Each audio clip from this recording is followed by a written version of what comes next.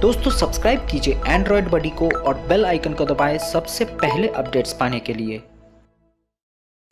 नमस्कार दोस्तों एंड्रॉइड बडी में आप सभी का स्वागत है।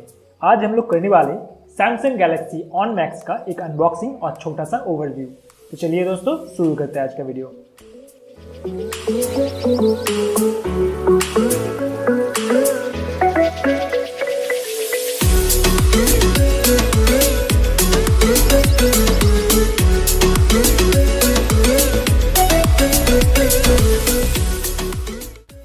दोस्तों, आप लोग देख सकते हैं, ये सैमसंग गैलेक्सी ऑन मैक्स का बॉक्स है।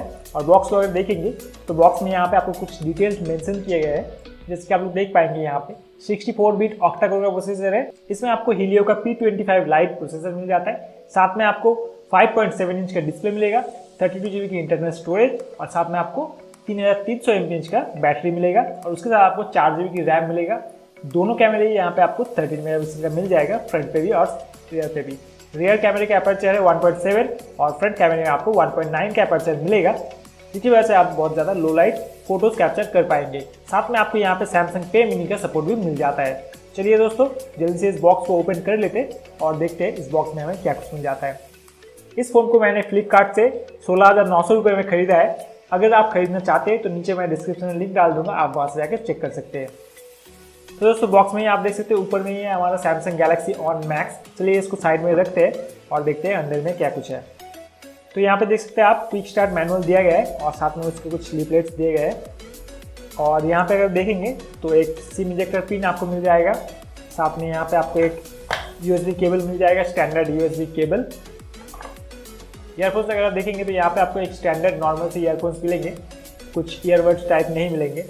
और यहाँ पे लास्ट में आपको मिलता है एक पावर अडाप्टर और इसका जो रेटिंग है, इसका रेटिंग अगर आप देखेंगे तो 5 वोल्ट 1.55 एम्पियर का यहाँ पे रेटिंग आपको देखने को मिलेगा।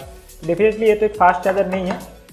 चलिए, हम लोग इसको साइड में रखते हैं और देखते हैं हमारे फ़ोन में क्या कुछ मिल जाता है। चलिए दोस्तों, सबसे पहले आप लोगों को इस फ़ोन का एक फ़िज़िकल ओवरव्यू मैं आप लोगों को दे देता हूँ।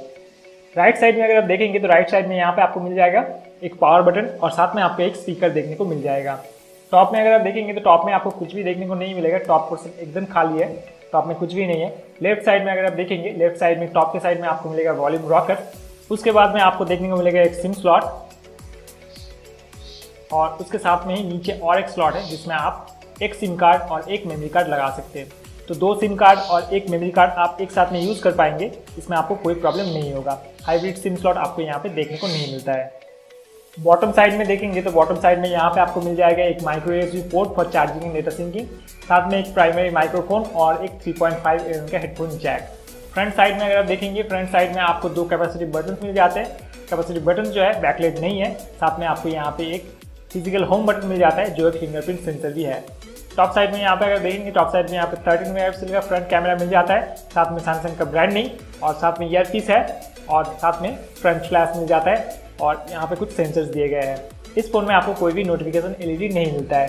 सैमसंग का कुछ दिन पहले ही एक और फ़ोन आया था Samsung Galaxy J seven Max उसमें आपको देखने को मिला था सैमसंग का स्मार्ट ग्लो लाइट जो कि एक पीछे में यहाँ पर स्मार्ट ग्लो का एक अलग से एलईडी था। उसमें भी कोई नोटिफिकेशन एलईडी नहीं था और यहाँ पे कोई भी नोटिफिकेशन एलईडी नहीं है और इससे फ्रंट पे कोई नोटिफिकेशन एलईडी नहीं दिया गया है। चलिए दोस्तों फ़ोन का UI जो है, कैसा है, देख लेते हैं। तो दोस्तों, देख सकते हैं, ये है सैमसंग का नया फ़ोन का UI और इस फ़ोन में आपको सैमसंग का नया टच विच वर्जन मिल जाता है सैमसंग का एक्सपीरियंस और साथ ही में आपको यहाँ पे Android Nougat out of the box मिल जाता है, जो कि काफ़ी अच्छी बात है। तो यहाँ पे देख सकते हैं आप लोग एंड्रॉयड नोगट आपको आउट ऑफ़ द बॉक्स मिल जाता है। और साथ में यहाँ पे आपको सैमसंग का एक्सपीरियंस 8.1 यूआई मिल जाता है, जो कि काफ़ी अच्छी बात है।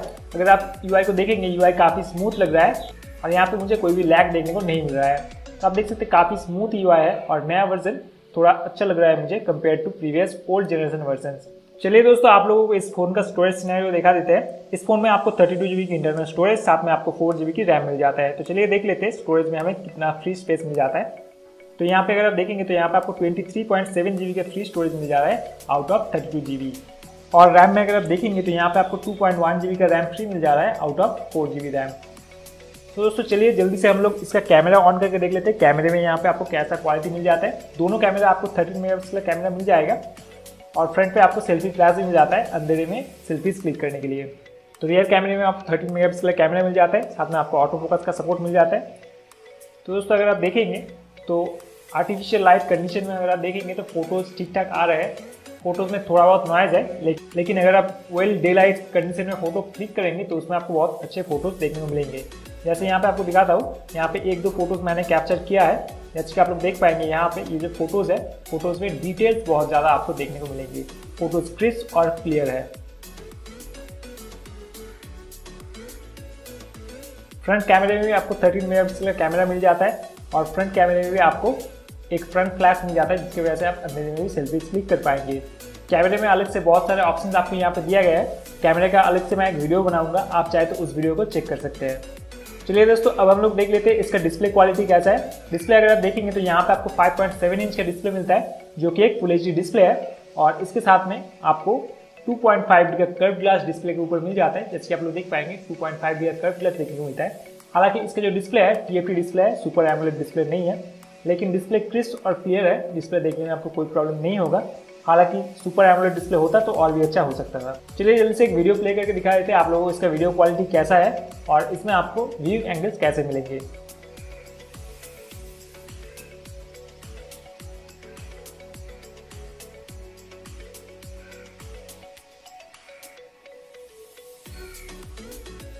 तो दोस्तों, जैसे कि आप लोग देख पा रहे हैं डिस्प्ले काफ़ी अच्छा क्रिस्प और क्लियर दिख रहा है। व्यूइंग एंगल्स अगर आप देखेंगे व्यूइंग एंगल्स भी आपको काफ़ी अच्छे मिल जाएँगे। एक्सट्रीम एंगल से भी अगर आप डिस्प्ले को देखेंगे तो डिस्प्ले में एक्सट्रीम एंगल से भी आपको देखने में कोई प्रॉब्लम नहीं होगा।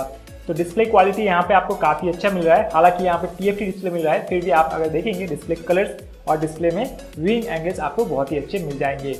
दोस्तों, आप लोगों को इसका एक ऑडियो सैंपल सुना देते हैं, इससे आपको पता चल जाएगा कि ऑडियो क्वालिटी इसका कैसा है।